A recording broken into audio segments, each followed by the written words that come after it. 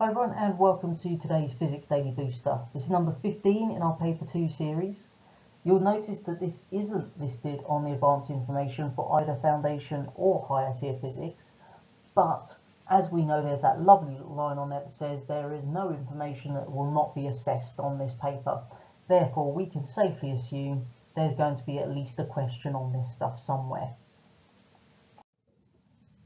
what we're going to do is we're going to venture out into space. So we are on the final part of P8, the 8.3 section, looking at space, the universe, and everything. So let's start off with the beginning, the very beginning, in fact, the Big Bang Theory. I hope we know that the universe as a whole started as something incredibly dense and incredibly tiny, as in something smaller than an atom that then underwent this sudden expansion around 13.7 billion years ago. So a little bit of time had passed. And that's what we refer to as the Big Bang, this sudden expansion that came 13.7 billion years ago of something that was incredibly tiny and dense that then expanded out and is still expanding today. And we know that the space between the galaxies that exist is still expanding today based on observations and measurements that we have taken. We also know, contrary to what some people may believe, we are not the centre of the universe. We are just one little section on an edge. We are not at the centre of it whatsoever. So what evidence have we got for this? Because obviously, as with all things in science, there could be some people who say Big Bang didn't happen, full stop. We need evidence to obviously back up our theory here. And we've got it. Two key pieces of evidence for the Big Bang theory.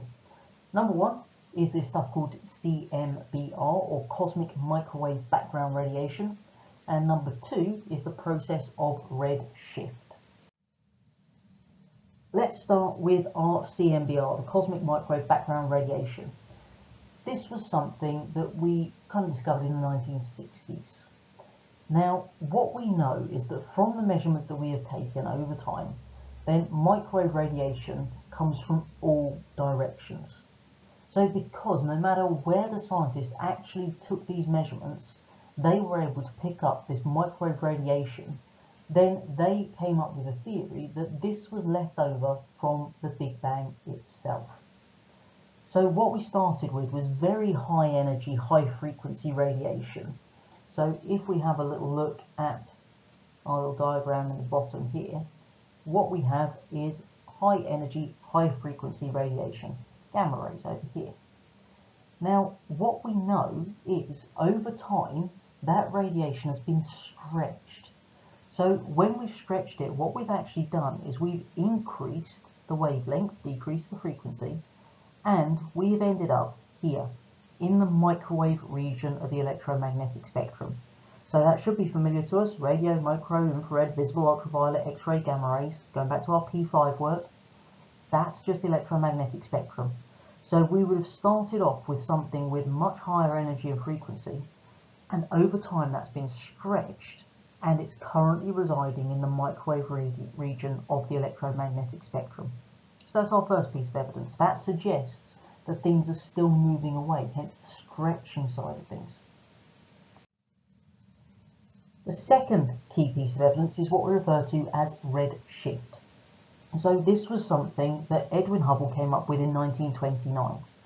And what he actually did was he measured the speed of galaxies just by looking at the absorption spectra of the light that they those individual galaxies were emitting.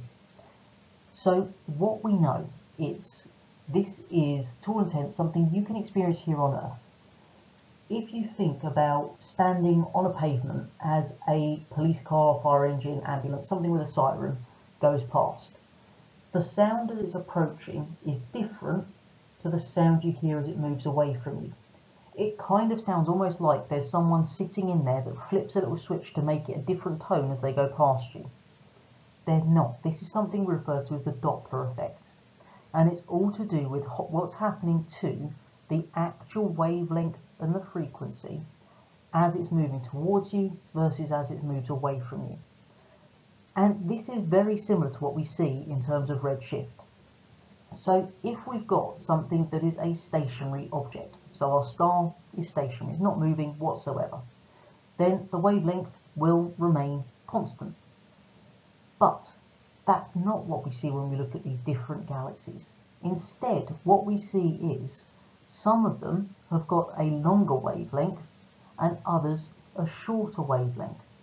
So what we can see there is some of these galaxies are moving away from us and others will be moving towards us.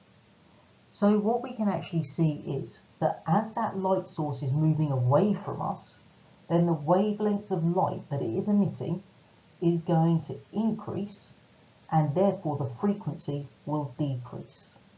And this is red shift because if we have a little look at our little wavelength here in the visible spectrum, then if we're going to see the wavelength increasing, if you can just make out the numbers here, then the red end is at 700, whereas we've got 400 at the bluer end. So if we increase the wavelength, what we're doing is we're moving it towards the red end of the spectrum, hence redshift.